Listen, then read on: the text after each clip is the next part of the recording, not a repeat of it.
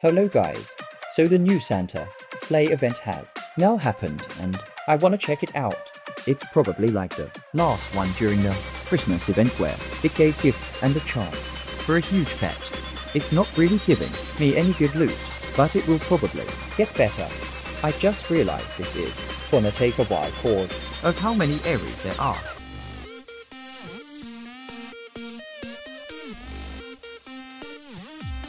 I think we are half. Way done, lol. Let's check the shop really quick. Yes, sir, we got it again, lol. That's the best thing I've gotten so far. Looks like we have reached the end. And sadly, no huge